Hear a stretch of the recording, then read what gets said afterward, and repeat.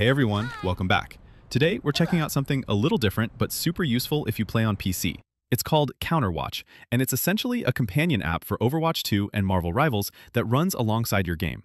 And yes, this one's PC only, so console players, my apologies in advance. So what exactly is Counterwatch? In simple terms, it's a completely TOS-safe companion app that adds an in-game overlay, a live second screen window, Discord rich presence, and a desktop launcher that tracks your stats and performance over time.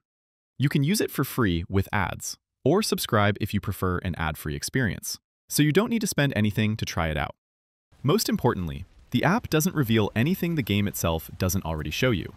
There are no wall hacks, no secret data, nothing shady.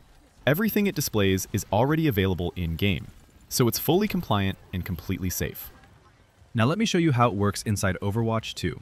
Later on, we'll take a look at Marvel Rivals as well. Starting from the hero selection screen, Counterwatch shows you which heroes have the highest win rates on the map you're about to play. This helps you make smarter hero choices right from the start and gives you a small edge before the match even begins.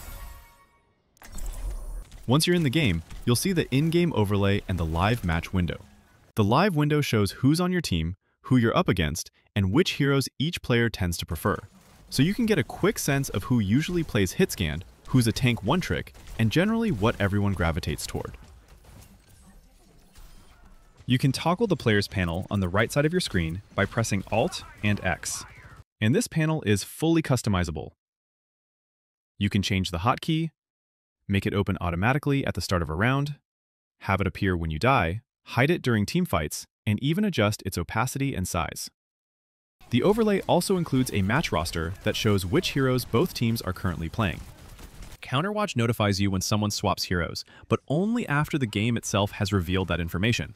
This is great because knowing about a hero swap right away helps you adjust your playstyle and react faster to what the enemy team is trying to do. In the settings, you can customize how hero swap notifications behave, adjust their size and opacity, change their position, and decide whether they apply to your team, the enemy team, or both. You can even enable or disable notifications based on the specific game mode you're playing. Again, nothing is pre-revealed or predicted. The app only reacts to information already visible in the scoreboard, so your account is completely safe. I've been using the live window on my second monitor, and I also keep the in-game overlay and notifications active. It genuinely feels like having a little coach sitting next to you, quietly giving you information like, hey, this player usually plays this hero, or the enemy DPS just swapped, making it easier to adapt on the fly. Now let's talk about Marvel Rivals. Just like in Overwatch, Counterwatch shows hero win rates during the selection screen. Here, you also get separate win percentages for Vanguard, Duelist, and Strategist heroes.